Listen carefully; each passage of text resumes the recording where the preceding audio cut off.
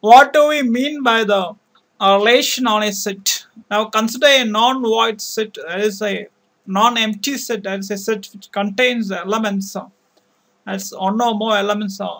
uh, and uh, let us take the, um, or let's, uh, denote that set as set A, then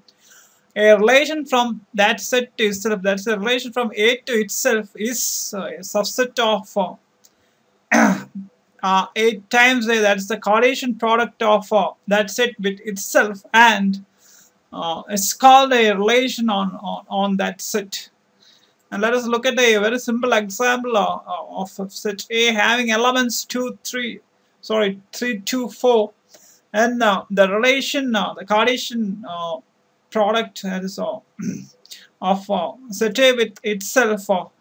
gives rise to a relation having three ordered pairs that is 3 3 2 4 and 3 4 and not the point that uh, all the possible ordered pairs aren't there. And uh, of course in such a case uh, it can be easily found uh,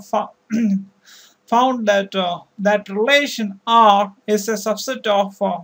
the Cartesian product of set A with itself. So so that's the important point and that is what is called uh, the relation uh, on, on a particular set. Uh, thank you.